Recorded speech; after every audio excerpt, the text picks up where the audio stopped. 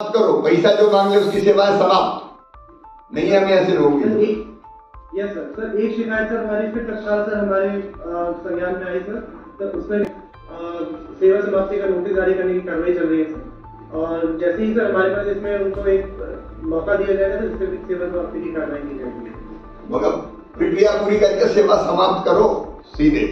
क्योंकि जो लोग पैसा मांग ले गरीब से उसको शासकीय सेवा में रहने का कोई हक नहीं है।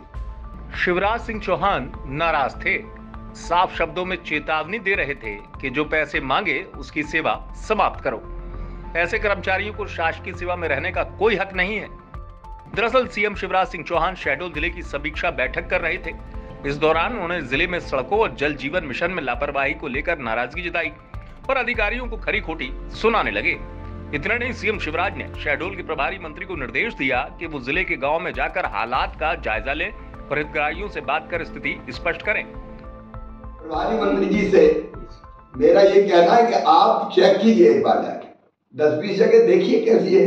जनता से फीडबैक लीजिए काम कैसा हो रहा है। क्योंकि मेरे पास अगले सप्ताह मेरे- मेरे सप्ताह जाके जहाँ जहाँ काम होगा वहाँ जाके निरीक्षण करेंगे ये कल से पूछेंगे मतलब गुणवत्तापूर्ण हो रहा है नहीं हो रहा है कोई दिक्कत तो नहीं है। गाँव के लोगों को संतोष है कि नहीं है जिनके लिए हमने योजना बनाई है। हालाँकि सीएम शिवराज इस समीक्षा बैठक के दौरान ज़िले में बेहतर काम करने वाले अधिकारियों की तारीफ़ करते भी दिखे और उनकी पीठ थपथपाते हुए शाबाशी भी दी। एक बार मैं फिर डायलिसिस सेवाओं के लिए ज़िले को बधाई दे रहा हूँ। उसमें अस्पताल प्रदेश में नंबर वन पे है आपका। पिछले एक महीने में 312 मरीजों को लाभ दिया है। उसके लिए सब बधाई के बात है।